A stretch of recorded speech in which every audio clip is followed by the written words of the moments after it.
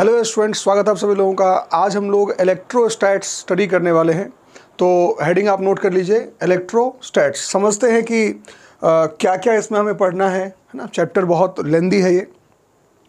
बहुत सारे कंसेप्ट इसमें नए आएँगे और एलेवेंथ से ट्वेल्थ में जब बच्चा पाता है तो एक डिफरेंस जो उसको देखने को मिलता है कि एलेवेंथ में जितने भी चैप्टर्स होते हैं, उसमें सारी चीज़ें विजुअल में होती हैं लाइक पुली है ब्लॉक है फ्रिक्शन है, या कोई पेंडुलम ऑसलेट कर रहा है एंड जो भी चीज़ें हैं।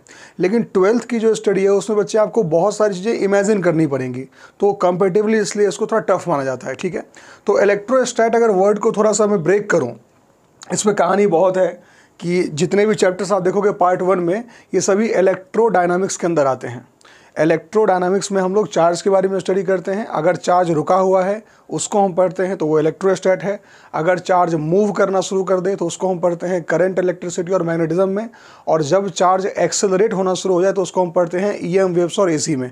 तो ये एक बेसिक इंट्रोडक्शन है कि इलेक्ट्रोस्टैट फिजिक्स के कौन से ब्रांच का पार्ट है राइट तो चाहो तो आप लिख सकते हो कि electrodynamics is the branch of physics जिसमें हम किसके बारे में पढ़ते हैं? चार्ज के बारे में। और उसमें वो सेक्शन जिसमें चार्ज रेस्ट पर हो, उसको हम क्या कहते हैं? इलेक्ट्रोस्टैट्स तो देखिए, मैं लिख दे रहा हूँ एक लाइन जल्दी से कि भाई study of charge at rest study of charge at rest क्या कहलाएगा? इलेक्ट्रोस्टैटिक्स कहलाएगा। ठीक है? चलो, अब देखो, चूँकि हमें चार्ज के बारे में पढ़ना है तो हमें चार्ज की प्रॉपर्टीज़ पता होनी चाहिए कि चार्ज की क्या क्या प्रॉपर्टीज़ होती हैं।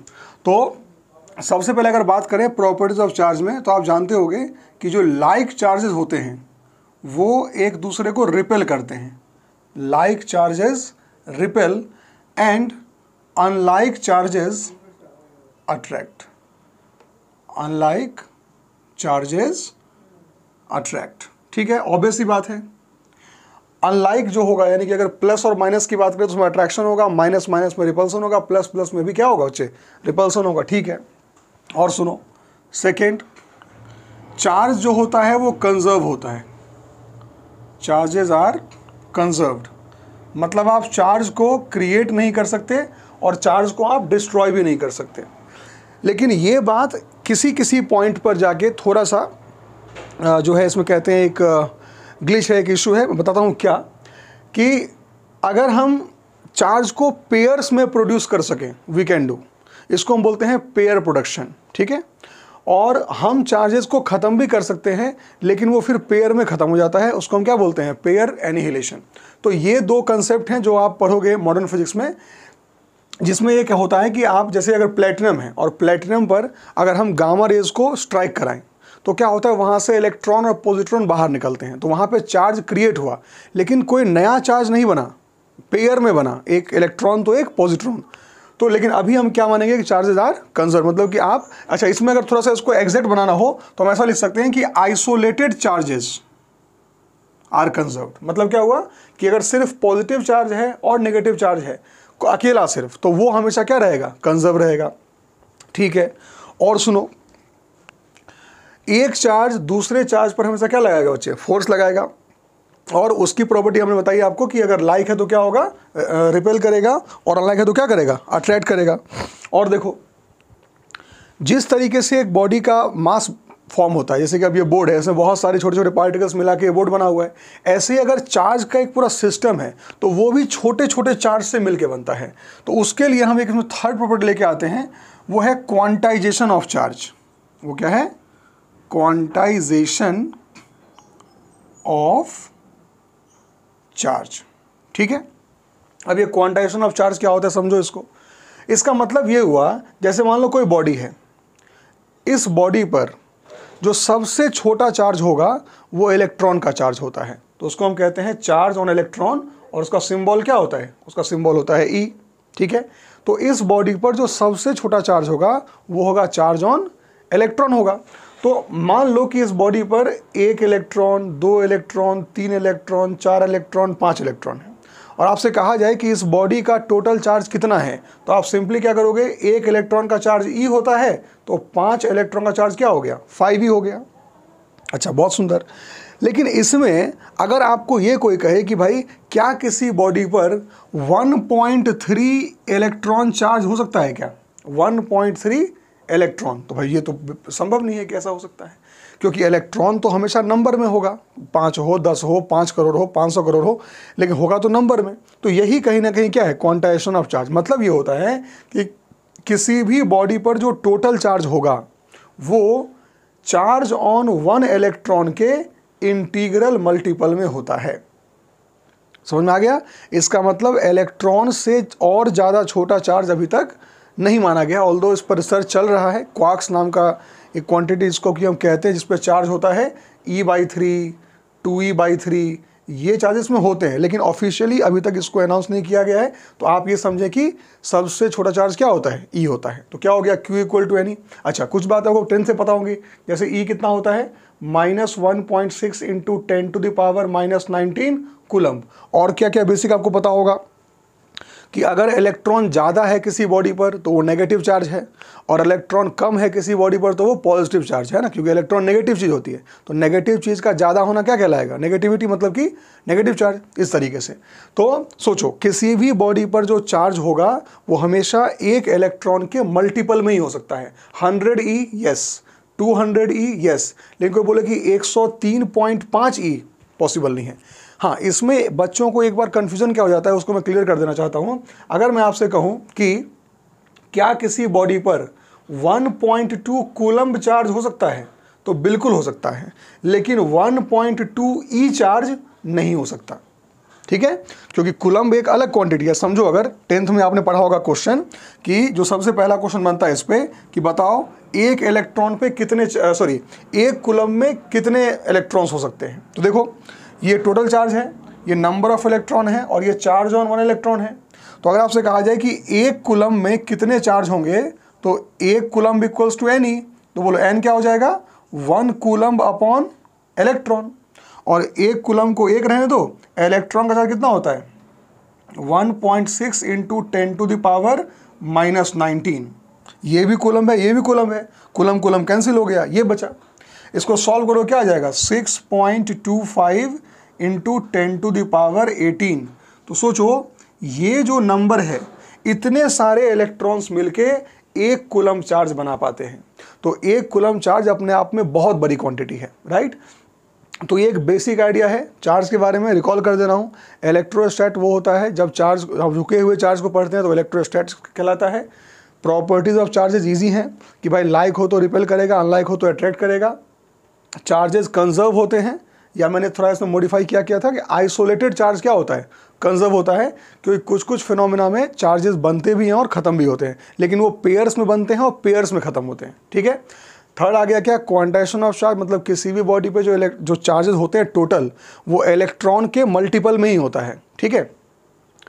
और उससे हमने छोटा सा क्वेश्चन किया कि भाई, एक कुलम में कितने इलेक्ट्रॉन होते हैं? तो इसका आंसर क्या होगा? इसका आंसर होगा six point two five, ten to the power eighteen. चलो भाई, आगे चलते देखो, अब एक डिफरेंस आता है कि भाई चार्ज में और मास में क्या अंतर है।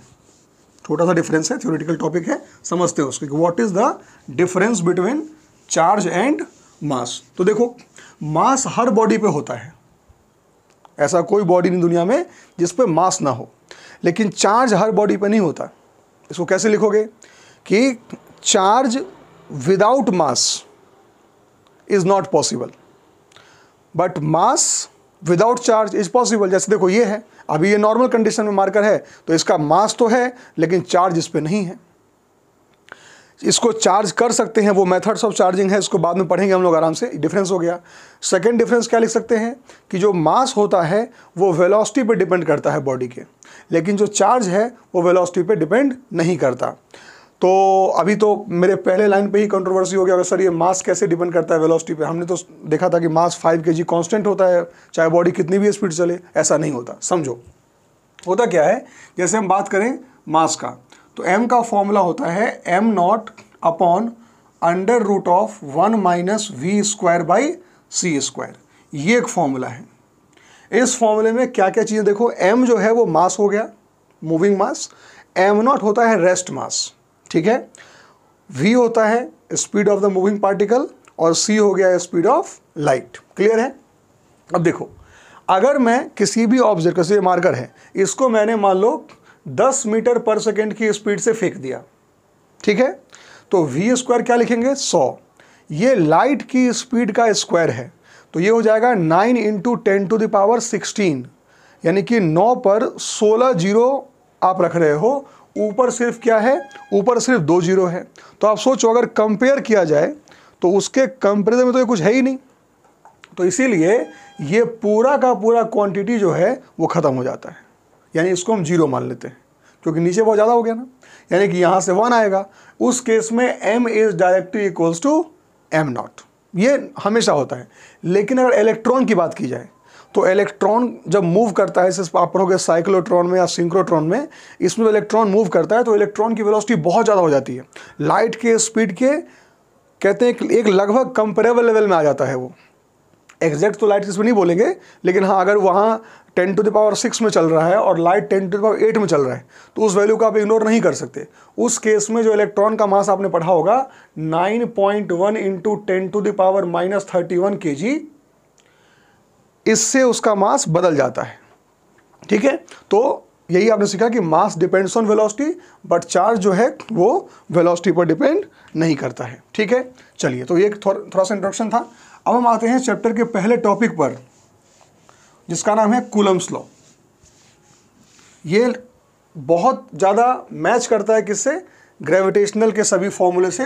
समझते हैं वन बाय वन चैप्टर का पहला topic Coulomb's law Coulomb's law. देखो कूलम ने क्या कहा था? एक्चुअली क्या हो, देखो, होता क्या है कि जब दो मासेस होते हैं ना तो उन दोनों मासेस के बीच में ग्रेविटेशनल फोर्स होता है अट्रैक्शन का। तो जब मास है तो ग्रेविटेशनल फोर्स होगा अट्रैक्शन में। अट्रैक्शन तो होगा। इसी प्रकार जब चार्ज है, किसी दो बॉडी पे जब चार्ज है तो वो भी एक दूसरे पे फोर्स लगाते हैं और उस फोर्स को किसने बताया था? उस फोर्स को बताया था किसने? कुलम ने। तो उसको हम पढ़ते हैं किसके अंदर? कुलम्स लॉ के अंदर। ठीक है? चलिए देखते हैं कुलम्स लॉ क्या कहता है। जैसे मान लो कि यहाँ पर एक चार्ज है Q1 ठीक? और एक चार्ज यहाँ ले लिया हमने Q2 ठीक है? चार्ज Q1 और चार्ज Q2 इन दोनों के बीच में एक डिस्टेंस है। मान लो R डिस्टेंस है। ये चार्ज Q1 ये चार्ज Q2 दोनों के बीच का डिस्टेंस क्या है? R है। बहुत सिंपल अब देखो होता क्या है? अगर मैं इस चार्ज को पकड़ लूँ तो मैंने देखा कि ये उधर भाग जाता है। इसका मतलब ये चार्ज उसको उधर भगा रहा है। सिमिलरली अगर मैं इसको पकड़ लूँ तो देखा गया कि ये चार्ज इधर भाग जाता है। मतलब ये चार्ज इसको इधर भगा रहा है। इन्हीं दोनों ऑब्जर्वेशंस को ध्यान में रखते हुए कुलम ने पहले फोर्स का डायरेक्शन बताया। तो देखो इस चार्ज को पकड़ के रखने पे ये चार्ज उधर भाग गया। मतलब इसका नाम हो जाएगा force on two due to one. Words पे ध्यान देना। Force on two due to one. इधर लगा। इस तरह से अगर इसको पकड़ लेंगे तो ये उधर चला जाएगा। देखा गया। तो इधर जब ये गया, इसका नाम हो जाएगा force on one due to two. फिर ये भी चेक किया गया कि जितना फोर्स ये है, उतना ही फोर्स ये है। इसका मतलब कि the magnitude of F one two. पता होगा ना वेक्टर क्वांटिटी ऑफ़ फोर्स तो इसका जो मैग्नीट्यूड है, वो बराबर किसके है बोलो? एफ़ टू वन के बराबर है। मैग्नीट्यूड वाइज दोनों इक्वल हैं। ये सभी ऑब्जर्वेशंस हैं। लॉ के क्या है ये सब? ऑब्जर्वेशंस ठीक है? और देखो, पहला पॉइंट मैग्नीट्यूड बराबर है। दूसरा क्या देखा गया? कि एफ़ टू वन अगर इस तरफ़ है तो एफ़ वन टू इस तरफ़ है। इसका मतलब ये हुआ कि डायरेक्शन क्या होगा इसका? ऑपोजिट होगा। डायरेक्शन इज़ ऑपोजिट दोनों का। अच्छा एफ़ वन टू इस पर लग रहा है एफ़ टू वन इस पर लग रहा है। मतलब कि act on two different bodies act on two different bodies दोनों का नेचर इलेक्ट्रोस्टैटिक फोर्स ही है। ये जो कुछ कहानियाँ हैं कि मैग्नीट्यूड बराबर, direction opposite act on two different bodies ये कुछ सुना सुना लग रहा है। है ना? आपने भी सुना होगा, इसको हम बोलते हैं एक्शन रिएक्शन पेयर क्या बोलते हैं इसको हम लोग? एक्शन रिएक्शन पेयर तो कूलम्स लॉ जो है, उसमें जो फोर्स आता है कोलम्बिक फोर्स वो कैसा पेयर फॉर्म करता है? वो एक्शन रिएक्शन पेयर फॉर्म करता है। क्योंकि उसकी प्रॉपर्टी ऐसी होती हैं। तो एक बच्चे को कहा गया, ठीक है भाई साहब मतलब कि फोर्स जो है वो क्या होगा? इक्वल होगा डायरेक्शन ऑपोजिट होगा और टू डिफरेंट बॉडी पे लगेगा? उसने कहा, ठीक. तो यहाँ एक बॉडी चार्ज लिया गया Q1 और यहाँ एक चार्ज क्या लिया गया? Q2 लिया गया। इजी है। उसने मान लिया फोर्स इस पे इस तरफ़, उसने मान लिया फोर्स इस पर इस तरफ़। जरा गौर करेंगे। इस फोर्स का नाम रख ले रहा हूँ मैं F on one due to two इसका नाम F on two due to one सवाल समझना अच्छे से। क्या ये दोनों फोर्स बराबर हैं? यस बराबर है, बिल्कुल। क्या ये डायरेक्शन अपोजिट है? बिल्कुल अपोजिट है। क्या ये टू डिफरेंट बॉडी पे लग रहा है? बिल्कुल लग रहा है। तो भाई साहब, क्या सही में ऐसा फोर्स लगता है? रियलिटी तो कुछ और बता रही है। मतलब इसमें कुछ ना कुछ एक और चीज़ ऐड करने का ज़रूरी था और वो ऐड किया गया एक लाइन कि जो फोर्स होता है, वो act along the line joining the two charges. Joining the two charges. मतलब क्या हुआ? ये जो फोर्स है, वो इन दोनों चार्जेस को ज्वाइन करने वाली लाइन पर लगता है। अब ये बात सही हो गई और ये जो स्टेटमेंट है वो गलत, क्योंकि इन दोनों चार्ज को ज्वाइन करने वाली लाइन ये है और फोर्स कहीं और शो हो रहा है, ऐसा इंटरप्रेशन अपने को नहीं करना है। तो कूलम्स लॉ में क्या क्या बातें सीखी बताओ। कूलम्स तो क्या करता है? जिन दो बॉडीज पर चार्ज हो, उन बॉडीज पर बताता है ये कि भाई किधर फोर्स लगेगा। ये समझो ओवरऑल दूसरा, फोर्सेस बराबर होते हैं। तीसरा, डायरेक्शन ऑपोजिट होता है। चौथा, दो अलग अलग बॉडीज़ पे लगता है। और पांचवा, जो फोर्स का डायरेक्शन है, देखा जाए तो जो उसका जो लाइन ऑफ़ इम्पैक्ट कहते हैं, जहाँ पर वो एक्ट करता है, वो क्या होगा? It is the line joining the two charges ठीक है? ये हो गया। बाकी जो नेचर है, वो मैं आपको पहले बता चुका हूँ कि लाइक चार्ज होगा तो क्या करेगा ये? रिपेल करेगा, यानी इधर जाएगा, और अनलाइक हो तो क्या करेगा ये? इधर। लेकिन होगा इसी लाइन के अंदर, बाकी सारी बातें सेम रहेंगी। चलो, इसको नोट कर लो। आगे चलते हैं। देखो, अब इसी का वेक्टर फॉर्म आ जाएगा। उसको भी स्टडी करेंगे, आराम से कोई दिक्कत नहीं है। फॉर्मूला होता है इसका जो आएगा वो भी समझेंगे। वन बाय वन हर चीज़ देखते हैं। समझो इधर। जैसे मान लो, मैं आपसे क्वेश्चन पूछूँ कि यहाँ एक चार्ज है फाइव कुलम का, ठीक है? और यहाँ एक चार्ज है टेन कुलम का। बोलो, इसमें क्या होगा? नफरत या प्यार? क्या होगा? रिपल्सन होगा, बिल्कुल। नेचर दोनों का सेम है, ठीक? क्वेश्चन क्या है कि रिलीज्ड इस पूरे सिस्टम को आपने ऐसे पकड़ के रखा ज़बरदस्ती। ये चाह रहे हैं दूर जाएँ दूर जाएँ नहीं नहीं नहीं नहीं नहीं, ऐसे कर रहे हो। तो आपने रिलीज़ कर दिया। जैसे ही आपने इसको रिलीज़ किया तो क्या देखा गया कि ये इधर भागता है चार मीटर पर सेकेंड की स्पीड से। चार, भागता कितने की स्पीड से? चार मीटर पर सेकेंड की स्पीड से। तो क्वेश्चन यह बताओ कि ये जो चार्ज है, इसकी वेलोसिटी कितनी होगी? सर, अभी तो आपने कुछ पढ़ाया ही नहीं। आपने तो क्यू बराबर एनी पढ़ाया है, और ये क्वेश्चन कहाँ से आ गया? भाई साहब क्वेश्चन कहीं से भी आ जाता है। क्वेश्चन बड़ा सिंपल है, क्या कहा? दो चार सिस्टम थे, एक था, पाँच कुलम, दस कुलम। अगर दस कुलम को छोड़ दिया जाए तो देखा गया कि वो चार की स्पीड से इनिशिएट होता है। तुरंत, ऐसा बाद में इसकी स्पीड अलग होगी, वो उस पर भी क्वेश्चन करेंगे अभी। लेकिन जस्ट इसका स्टार्टिंग स्पीड कितना है? चार की स्पीड निकलता है। तो बताइए रिलीज़ करने टाइम इसकी स्पीड क्या रही होगी? बहुत ईजी है। और इसमें आप कुछ नहीं, आप सिर्फ़ मोमेंटम को कंजर्व कर दो। क्योंकि एक्सटर्नल फोर्स तो कुछ लगा ही नहीं है। जो फोर्स है वो कैसा है? इंटरनल फोर्स है। तो बताओ मोमेंटम अगर आपने कंजर्व किया तो इसका अच्छा मास नहीं था इसमें। ओके ओके ओके सॉरी बच्चे, इसका मास लेते हैं थ्री के जी इसका मास लेते हैं कितना? टू के जी फिर तुम सॉल्व कैसे करते हैं? तो मोमेंटम इनिशियल मोमेंटम फ़ाइल बताओ इनिशियल मोमेंटम तो कुछ था ही नहीं सिस्टम का, क्योंकि तो आपने रोक के रखा था। जैसे आपने रिलीज़ किया तो क्या हुआ?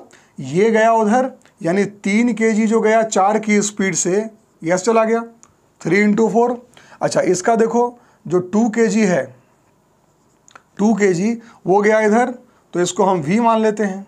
तो नेट ये भी ज़ीरो होना चाहिए होना चाहिए। चलो, हो गया, बारह प्लस टू वी वी कितना आ गया बोलो minus six metre per second देखो, आ गया मैकेनिक्स आ गया, कोई दिक्कत ही नहीं इजी सॉल्व हो गया। अच्छा इसमें, देखो, मैं आपसे एक और क्वेश्चन पूछ सकता था, बोलो क्या? मैं आपसे पूछा था कि if ten coulomb charge if ten coulomb charge moves 20 metres right 20 metres right find the distance moved by find the distance moved by two K G charge दो किलो का जो ये चार्ज है, इसमें पाँच कुलम चार्ज समझो या दो के जी चार्ज मत लिखो। पाँच कुलम चार्ज वाला बॉडी जो है, वो कितना डिस्टेंस कवर करेगा? लॉजिकल क्वेश्चन है कि अगर ये चला है उस तरफ़ तो कोई ना कोई डिस्टेंस तो कवर करेगा। सिमिलरली ये भी जब चलेगा तो ये भी कोई ना कोई डिस्टेंस कवर करेगा। तो क्वेश्चन ये है कि अगर 10 कुलम चार्ज जिस पर है, वो अगर 20 मीटर कवर कर लेता है तो बताओ कि जो जिस पर 5 कुलम चार्ज है, वो कितना डिस्टेंस कवर करेगा? मैं कहता हूँ कुछ भी नहीं क्वेश्चन में। सब पढ़ा आपका। जब ये दोनों मासेज यहाँ थे जिस पर चार्ज था, वो एक एड ऑन था, इस पर एक्स्ट्रा था वो।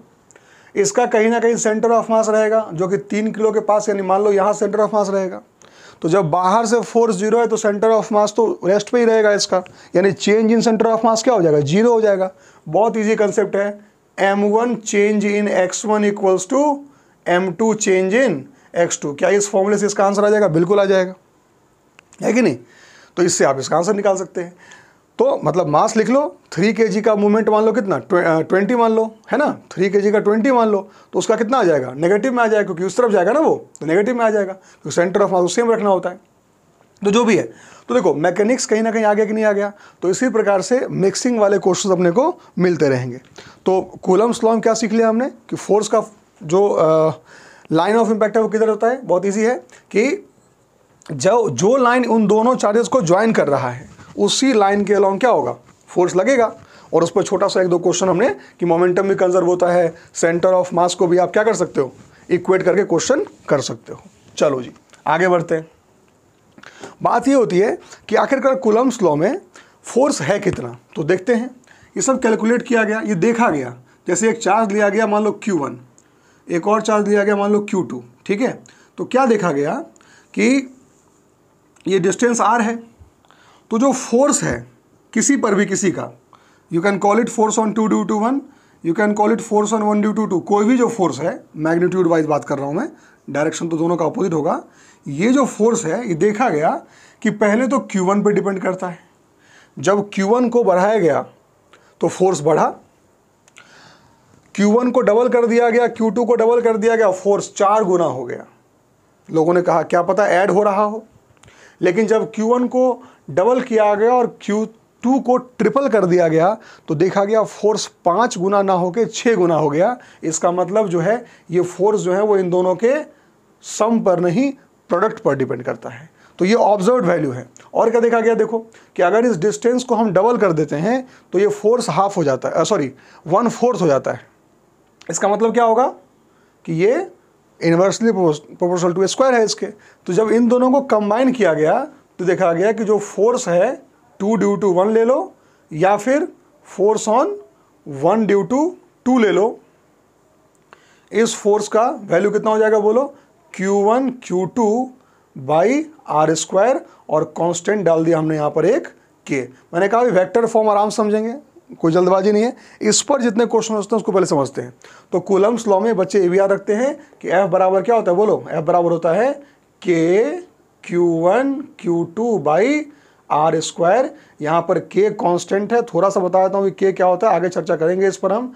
के इक्वल्स टू होता है one upon four pi epsilon naught F naught होता है क्या? परमिटिविटी सब बताऊँगा परमिटिविटी क्या होता है। इसकी वैल्यू भी आप याद कर लो। Nine into ten to the power nine. लेकिन जो क्वेश्चन हम अभी कर रहे हैं, वो जनरली हम के में ही सॉल्व करेंगे फ़िलहाल। तो जब ये आएगा तो इस पर और चर्चा की जाएगी कि परमिटिविटी क्या होता है रियलिटी में। किसी मीडियम की प्रॉपर्टी होती है, जो कि इलेक्ट्रिकल फोर्सेस को अलाउ करती है कि आप कितना उसको इम्पैक्ट पहुँचाने दोगे परमिटिविटी में। ऐसा ही होता है मैग्नेटिज्म में परमिएबिलिटी जिसको बोलते हैं हम लोग म्यू नॉट ठीक है? जो भी है।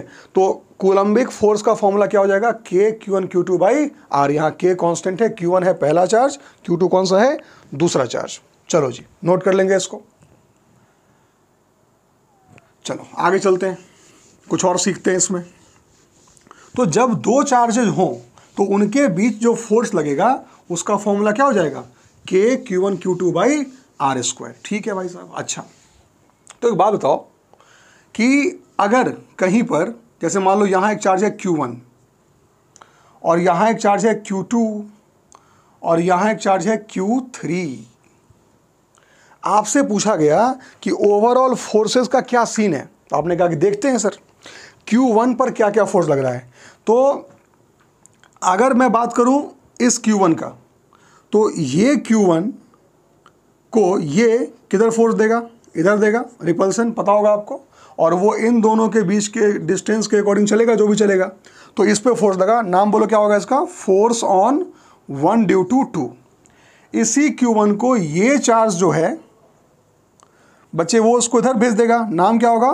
Force on one due to three तो इस फ़र्स्ट बॉडी पर दो फोर्सेस काम कर रहे हैं। एक Q2 का फोर्स इधर जा रहा है और Q3 का फोर्स इस पर इधर जा रहा है। तो जब इस पर नेट फोर्स निकालेंगे तो इन दोनों फोर्सेस का क्या होगा? वेक्टर सम होगा। तो बोलोगे, सर, कि इन तीनों के रहने से, जैसे जब Q2 Q ने फोर्स लगा रहा था तो ये फोर्स आया। तो जब ये Q3 आया तो क्या वो कोई इंपैक्ट नहीं करेगा? तो इसके लिए हम पढ़ते हैं सुपर पोजिशन प्रिंसिपल क्या पढ़ते हैं बच्चे?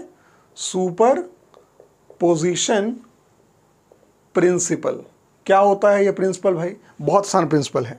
ये क्या कहता है कि दो चार्जेस के बीच में जो नफरत है या प्यार है अट्रैक्शन या रिपल जो भी है, वो वही रहेगा, चाहे वो अगल बगल में कोई भी चार्ज आ जाए। It is independent of the presence और एबसेंस ऑफ़ अदर चार्जेस जैसे एक और देखो एग्ज़ाम्पल इजी है। मान लो यहाँ पर मैंने लिखा कोई चार्ज प्लस क्यू है सिंपल यहाँ एक चार्ज है माइनस क्यू? बताओ, इन दोनों नफरत है प्यार है? इन दोनों प्यार है। मतलब कि इन दोनों में प्यार था भाई। ये इसको यहाँ इधर खींच रहा था, ये इसको यहाँ खींच रहा था। अब इनके जीवन में कोई और आ गया। एक और चार्ज आ गया। वो भी इसको प्यार दे रहा है। तो इस क्यू को दो लोग प्यार दे रहे हैं। एक ये और एक ये। दोनों इसको ज़्यादा खींच रहा है। तो सुपर पोजिशन प्रिंसिपल क्या कहता है? कि इस क्यू के द्वारा इसको जो प्यार मिल रहा था उस प्यार में इस तीसरे के आने के बाद कोई कमी नहीं होगी, वो सब सेम होगा और ये सिर्फ़ चार्जेज में ही होता है। असली ज़िंदगी में ऐसा नहीं होता है। चलिए तो ये हो गया आपका सुपरपोजिशन प्रिंसिपल बहुत सॉर्टेड है। तो आप बताओ, क्या करोगे इसका आप? वैक्टर सम कर दोगे। तो ये जो वैक्टर सम हमने किया, इस पर बेस्ड कुछ क्वेश्चन हम लोग कर लेते हैं। तो क्लियर हो जाएगा आपको वैक्टर तो जोड़ना आपको आता ही होगा। है ना? फॉर्मूला पता है? दो वैक्टर को ऐड करने का कितना होता है? अगर एक वेक्टर एक मान लो ए है, दूसरा बी है तो क्या हो जाएगा? Under root A square plus B square plus two A B cos theta थोड़ा बता देता हूँ, सुन लो, क्या पता कुछ भूल गए हो आप। एक वेक्टर है इधर ए एक वेक्टर यहाँ है बी इनके बीच का एंगल क्या है? थीटा तो इसका जो नेट आएगा रिजल्टेंट उसका बोलो फॉर्मूला क्या होता है?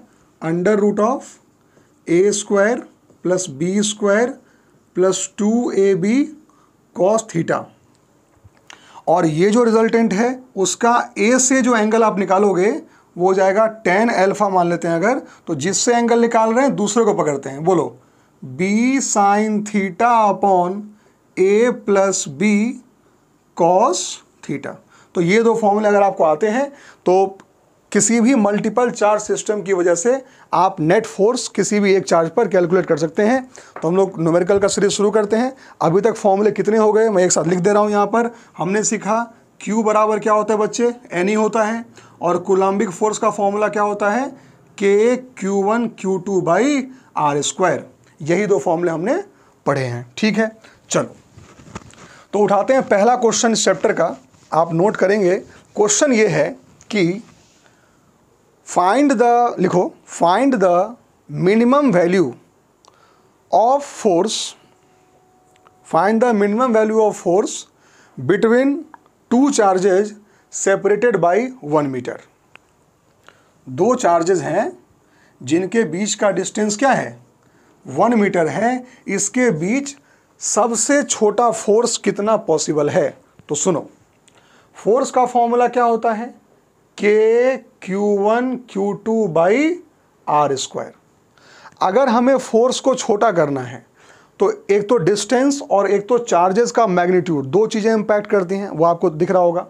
तो डिस्टेंस तो क्वेश्चन में पहले फिक्स कर दिया गया कि सेपरेशन कितना है? वन मीटर तो अगर सेपरेशन वन मीटर है तो फोर्स का डिपेंडेंसी डायरेक्ट कहाँ चला गया बोलो? चला गया सीधे दोनों चार्जेस पे, क्योंकि ये तो कांस्टेंट है।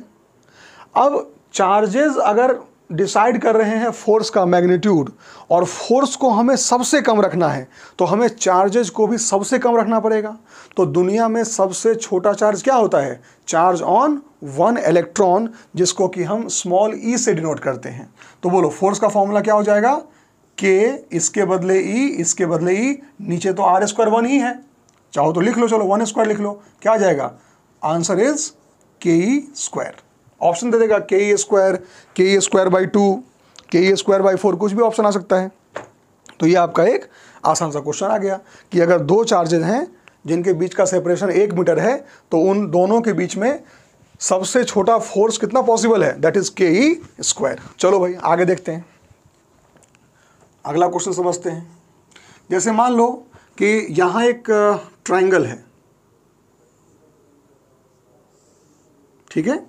इस ट्राइंगल के इस वाले कॉर्नर पे एक चार्ज है क्यू एक चार्ज क्यू यहाँ पर है, एक चार्ज क्यू यहाँ पर है। इक्विलेटरल ट्राइंगल है।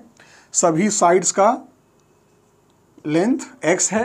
तो आपको बताना है कि इस वाले चार्ज पर नेट फोर्स क्या होगा? इस वाले चार्ज पर नेट फोर्स क्या होगा? तो फोर्स का फॉर्मूला क्या होता है बोलो? K Q one Q two by R square तो पहले बताओ, इस वाले पर ये इधर की ओर क्या फोर्स देगा? वो देगा K Q square by X square K Q square by X square इसको ये कहाँ फोर्स देगा देखो, ये इसको इधर भेज देगा। अलोंग द लाइन लगता है ना? अलोंग द लाइन बोलो कितना हो जाएगा? K Q square by X square angle कितना है इसके बीच का बताओ? एंगल है 60 डिग्री ऑब्वियस ही बात है। क्या करना है आपको? वेक्टर ऐड करना है। इसको मान लो फोर्स एफ़ तो ये भी क्या हो जाएगा एफ़ तो आप समझो कि दो वेक्टर्स हैं एफ़ और एफ़ और आपको 60 पे ऐड करना है। अगर आपको डायरेक्ट याद है तो आप रूट थ्री एफ़ लिख सकते हैं। नहीं सॉल्व करना है तो कर लो, कोई दिक्कत नहीं है। बताओ रिजल्टेंट एफ़ नेट कितना हो जाएगा? Under root of A square plus B square plus two A B cos sixty लिखोगे? कॉस सिक्सटी क्या होता है? वन बाई टू होता है। वन बाई टू से कट गया। कितनी बार बताओ three times of F square का रूट आंसर क्या हो जाएगा? रूट थ्री एफ़ बाद में एफ़ की वैल्यू पुट कर लो तो हो जाएगा root three K Q square by X square कुछ चीज़ अगर आपको जल्दी अगर याद हो, जैसे मान लो दो फोर्स हैं एफ़ और एफ़ 90 डिग्री पे तो रिजल्टेंट क्या जाएगा? रूट टू एफ़ जाता है ना? और अगर 60 डिग्री पर हो तो क्या जाएगा? रूट थ्री एफ़ जाएगा। तो उससे आपका इसका आंसर बहुत जल्दी आ जाएगा। ठीक है? चलो नोट कर लो इसको। और आगे चलते हैं भाई। सुनो। एक दो क्वेश्चन और। समझ में आ रहा है ना कैसे कैसे वेक्टर जोड़ के हैं? क्योंकि फोर्स को जो ऐड करने के लिए वेक्टर चाहिए होगा तो उसको ऐसे ऐड कर रहे हैं। और देखो क्वेश्चन करते हैं। जैसे मान लो कि हमने क्या किया? एक स्क्वायर सिस्टम एज्यूम किया। क्या एज्यूम किया? स्क्वायर सिस्टम एज्यूम किया। स्क्वायर के सभी साइड्स कितने हैं? एक्स एक्स के हैं। सभी साइड कितने के हैं? एक्स के हैं भाई। और सब पे चार्ज क्या है? क्यू क्यू क्यू क्यू सवाल वही है कि आपको इस वाले पर क्या निकालना है? नेट फोर्स निकालना है। Net force on this charge बताओ क्या किया जाएगा? देखो, पहले ये इस पर कितना फोर्स लगाएगा बोलो? K Q square by X square ठीक है? ये इस पर कितना फोर्स लगाएगा बोलो? K Q square by X square. ये इस पर जो फोर्स लगाएगा, वो इस लाइन के अलोंग लगाएगा। कितना बोलो? के क्यू स्क्वायर बाई ये दूरी कितनी हो जाएगी? रूट टू एक्स हो जाएगा ना? तो फोर्स कितना हो जाएगा? टू एक्स स्क्वायर अब आपको इन तीनों फोर्सेस को ऐड करना है। इनडायरेक्टली यही बात है। इसको इसको इसको ऐड करना है। तो देखो K Q square by X square K Q square by square ninety degree पे है। तो ऑब्वियस ही बात है, इस लाइन पर बोलो कितना आ जाएगा? Under root two K Q square by X square और एक तो इस लाइन पर पहले से ही था, कौन? K Q square by two X square तो दोनों एक ही लाइन में आ गए। फिर से सुनो, इन दोनों का मिक्सचर ये है रूट टू टाइम्स और एक तो पहले से इस लाइन पर था तो बताओ नेट फोर्स क्या हो जाएगा इस पर? नेटफोर्स हो जाएगा K Q square by X square bracket में रखा रूट टू यहाँ और वन बाई टू यहाँ। ईजी है समझना है इसको। चलो ये भी लिख लो। और आगे चलते हैं। कुछ नया सीखते हैं। वेक्टर का खेल है सिर्फ़। देखो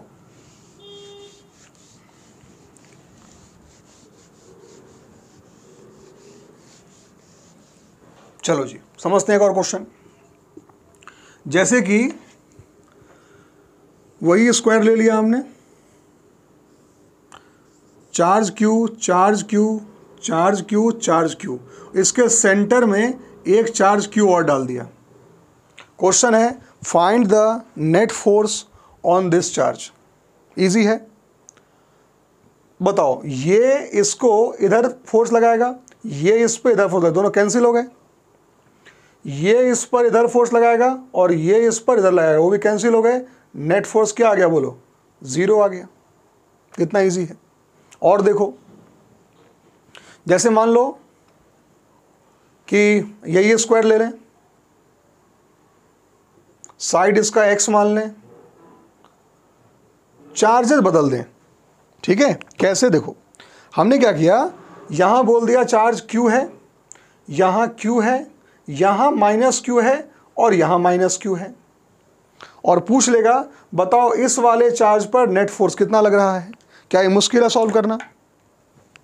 अरे इस पर क्या निकालना है? नेट फोर्स निकालना है। वेक्टर में तो फंसाएगा आपको और क्या कर सकता है? सुनो कैसे निकालेंगे। बताओ इस पर ये किधर फोर्स लगा रहा है? अट्रैक्टिव फोर्स ना कि, कितना बोलो? K Q square by X square. ये इस पर किधर फोर्स लगा रहा है? इधर, कितना? K q square by x square ये इस पर कहाँ फोर्स लगा रहा है? बोलो, इस तरफ़ कितना? K q square by x square sorry sorry two x square root में आ जाएगा ना डिस्टेंस आपको इन तीनों को ऐड करना है। देखो कितना इजी है। सोचो, ये और ये ये और ये तो 90 पे ही है ना? तो इन दोनों का नेट आ गया इस लाइन पर। बोलो, कितना आ गया? K q square by x square कितना? रूट टू के साथ। और इसी पॉइंट पर ऊपर की ओर एक फोर्स लग रहा है, जो है k q square by two x square अब ये दोनों कितने एंगल पर होंगे? ऑब्वियस और 90 पर होंगे। तो 90 पर नेट क्या आता है? नहीं, यहाँ तो डायरेक्ट नहीं कर पाएँगे, आपको सॉल्व भी करना पड़ेगा। कोई दिक्कत नहीं, कर लेते हैं। देखो अंडर रूट ऑफ़ 90 पर क्या होगा? इसका स्क्वायर प्लस इसका स्क्वायर तो इसका स्क्वायर जाएगा two k square q four by x to the power four बोलो, ये क्या हो जाएगा? K square q four by two का square four four x four इसमें से कॉमन वाले टर्म्स क्या आ जाएँगे? K q square by x square अंदर क्या बच जाएगा? Two plus one by four अब ये जो भी आ जाए, क्या हम सॉल्व कर सकते हैं? तो ऐसे ही समझो कि चार्जेस कैसे भी हों, इस शेप में कहीं भी चार्जेस हों, किसी भी मैग्नीट्यूड के हों, हम इसको बड़े इजीली सॉल्व कर सकते हैं, अगर हमें कोलम्स लॉ का फॉर्मूला आता है और वेक्टर को ऐड करने का फॉर्मूला आता है तो ठीक है? इसमें थोड़े और अच्छे क्वेश्चन ऐड कर, देखो। क्वेश्चन और कुछ समझते हैं? अच्छा इसमें। जैसे कि ये क्वेश्चन है, उसमें वेक्टर थोड़ा है, संभाल लेना, देखो। क्वेश्चन ये कह रहा है, जो होता है वॉच घड़ी घड़ी घड़ी। टाइम देते हैं, टाइम। तो वो घड़ी है। तो ये कोई ऐसा कि घड़ी है भाई साहब। ठीक? उस घड़ी में यहाँ बारह बजता है, यहाँ छः बजता है, यहाँ बारह बजता है, यहाँ तीन बजता है, यहाँ नौ बजता है। सही चल रहा है मेरा? यहाँ तक? ये एक, यहाँ दो बज जाएगा, ये तीन, ये चार बज जाएगा, ये पाँच बज जाएगा छः बज गया, सात बज जाएगा, आठ बज जाएगा, नौ बज गया तो दस बज जाएगा और ग्यारह बज जाएगा। लिखना पड़ेगा, एक, दो, तीन, चार, पाँच छ सात, आठ, नौ, दस, ग्यारह। ठीक है? बारह कुलम, एक कुलम, दो कुलम, तीन कुलम, चार कुलम, पाँच कुलम छः कुलम, सात कुलम, आठ कुलम, नौ कुलम, दस कुलम, ग्यारह कुलम। क्लियर है क्या? इस बीच में यहाँ सेंटर पर एक चार्ज है क्यू क्यू नहीं वन कुलम कितना है? वन कुलम समझना क्वेश्चन एक घड़ी में जितना जिस एक घड़ी में जिस पॉइंट पर जितना बचता है, वहाँ पर उतने कुलम का चार्ज रखा हुआ है। बारह एक से लेकर पूरा फिर ग्यारह तक। तो अगर उसके सेंटर पे एक चार्ज हो एक कुलम का तो उस पर नेट फोर्स क्या लगेगा? इसको ट्राई करिए। ट्राई करिए इसको, क्या लग रहा है, क्या होना चाहिए? इधर देखो। समझते हैं इसको? ये बारह है और ये छ है। सॉर्टेड ये बारह इस दूरी पर इस तरफ़ एक फोर्स लगाएगा और ये छ इस पर ऊपर की ओर फोर्स लगाएगा क्योंकि रिपल्सिव नेचर है। लेकिन चूँकि ये ट्वेल्व है तो इसका फोर्स ज़्यादा होगा, इसका फोर्स कम होगा तो अगर नेट फोर्स की बात करें तो 12 और 6 में से कौन जीतेगा? 12 जीतेगा। और नेट इफ़ेक्ट इसका आएगा डिफरेंस यानी कि सिक्स तो हम ये मान लेते हैं कि इन दोनों के बीच में जो नेट फोर्स आएगा, वो एफ़ है। क्या है? एफ़ एफ़ फोर्स किसके किसके बीच में है बताओ? एफ़ फोर्स है इस 12 और इस 6 के बीच का नेट फोर्स दो को, किसी भी दो को कवर कर लो। तो अंतर छः का है तो मान लेते हैं एफ़ फोर्स है। ठीक? सिमिलरली तुम मुझे बताओ, इस वन और इस सेवन में कौन जीतेगा? सेवन का पुश ज़्यादा होगा उस तरफ़ तो लेकिन होगा चूँकि डिफरेंस सिक्स का ही है। तो यहाँ भी सेम फोर्स बोलो क्या होगा? एफ़ इस तरफ़ होगा। ये आठ और ये दो, इनमें भी पुश सेम है देखो, लेकिन आठ का उधर ज़्यादा होगा। तो यहाँ भी फोर्स क्या होगा? एक एफ़ होगा। ऐसे ही नाइन में थ्री में एक फोर्स यहाँ एफ़ होगा। टेन में फोर में एक फोर्स यहाँ एफ़ होगा। और एलेवन और फाइव में एक फोर्स यहाँ एफ़ होगा। होगा कि नहीं होगा? अब इन सभी फोर्सेस को अलग से कहीं बना लो। देखो कहाँ, कैसे कैसे बनेगा। इस पॉइंट से एक फोर्स गया इधर एफ़ ठीक है, थोड़ा इसको और क्लियर बनाते हैं। ये फोर्स क्या गया? एफ़ गया। जस्ट नीचे एक फोर्स गया कौन सा? एफ़ एक सामने गया फोर्स एफ़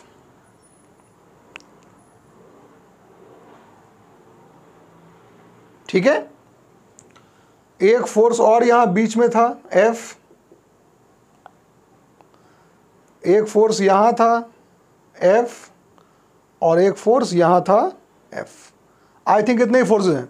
एक, दो, तीन, चार, पाँच छ एक, दो, तीन, चार, पाँच छ कोई दिक्कत नहीं। इसी को ऐड करना है ना।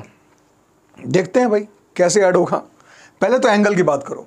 सोचो, अगर यहाँ एक और फोर्स होता, जो कि है नहीं तो ये पूरा एंगल कितना होता? एक सौ अस्सी डिग्री होता। यानी कि हर एक सेगमेंट कितने डिग्री का है? तीस डिग्री का। इसका मतलब कि ये जो एंगल है, ये सभी एंगल कितने हैं? थर्टी थर्टी डिग्री के एंगल्स हैं। कोई दिक्कत नहीं है। आप मुझे बताओ, अगर मैं इस फोर्स के दो कंपोनेंट करता हूँ, इस वाली लाइन के अलोंग तो ये वाला फोर्स यहाँ कितने डिग्री पर है? 60 पर है। तो इसका यहाँ कितना हिस्सा आएगा? एफ़ कॉस 60 इस वाले का। सिमिलरली ये जो फोर्स है, ये भी यहाँ 60 नीचे है, देखो। तो इसका भी यहाँ क्या आएगा? एफ़ कॉस सिक्सटी यानी कितना हो गया? टू एफ़ कॉस सिक्सटी इस फोर्स का एक कंपोनेंट होगा वर्टिकल में। बोलो कितना होगा? एफ़ साइन सिक्सटी इस एफ़ का। और इस एफ़ का भी नीचे होगा, बोलो, क्या नाम होगा उसका? एफ़ साइन सिक्सटी दोनों आपस में कैंसिल हो गए। ठीक? ऐसे ये जो एफ़ है, जो यहाँ से 30 डिग्री ऊपर है इस एफ़ का यहाँ पर कंपोनेंट बोलो, क्या आएगा? इस एफ़ का यहाँ जो कंपोनेंट आएगा, कितना आएगा बोलो? एफ़ कॉस थर्टी सिमिलरली इस वाले एफ़ का यहाँ पर फिर से आएगा एफ़ कॉस थर्टी कितना हो गया?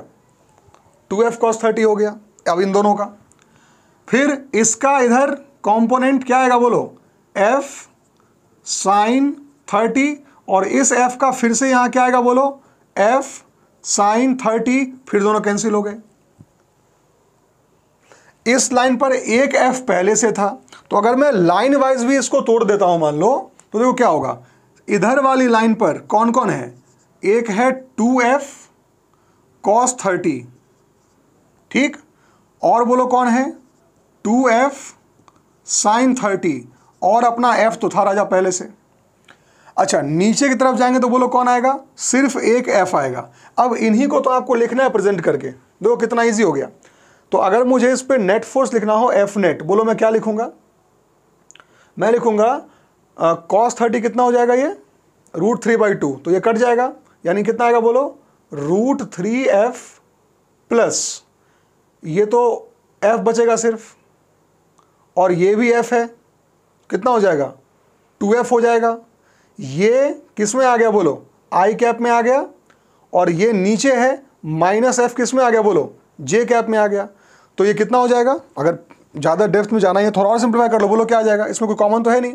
एफ़ कॉमन है, बस तो आ जाएगा क्या? Root three plus two F i cap minus F j cap it is the net force acting on that one coulomb charge sorted है। कितना इजी क्वेश्चन था। ठीक है? चलो, लिख लो इसको भी। और आगे बात करते हैं।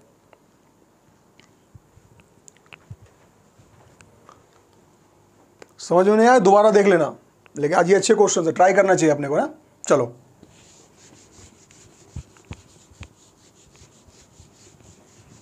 है वही फॉर्मूला कूलम्स लॉ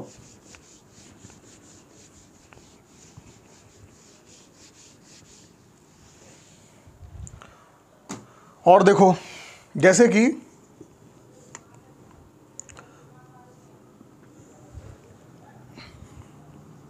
यहाँ पर एक वन कुलम का चार्ज है, ठीक? यहाँ से एक मीटर की दूरी पर, एक मीटर दूरी पर वन कुलम का चार्ज है, दो मीटर की दूरी पर एट कुलम का चार्ज है, तीन मीटर की दूरी पर ट्वेंटी सेवन कुलम का चार्ज है, और ये चलता गया चलता गया और यहाँ टेन मीटर की दूरी पर वन थाउज़ेंड कुलम का चार्ज है। क्वेश्चन है find the net force on the charge at origin find the net force on the charge at origin यहाँ ओरिजिन पर जो चार्ज है, इस पर नेट फोर्स क्या लगेगा, किधर लगेगा, ये आपको बताना है। ट्राई करेंगे इसको।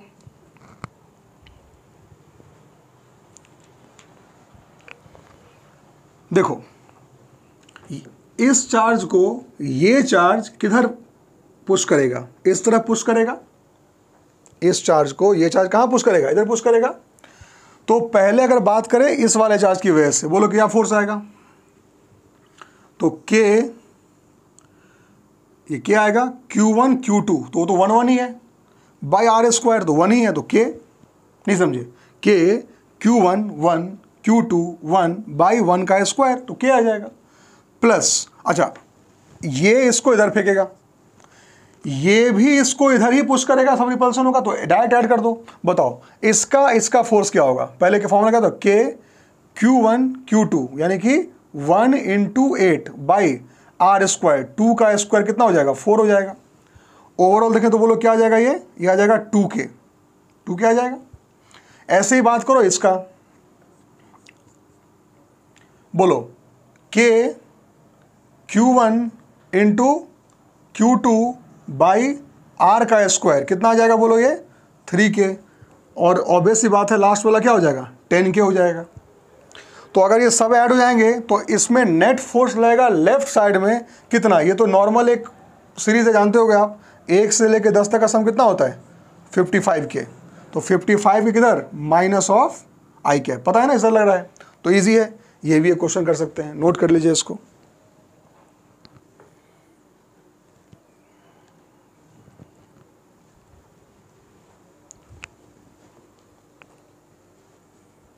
चलो, और आगे देखते हैं।